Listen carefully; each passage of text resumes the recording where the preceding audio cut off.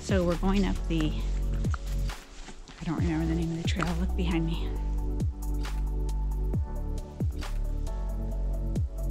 It's beautiful.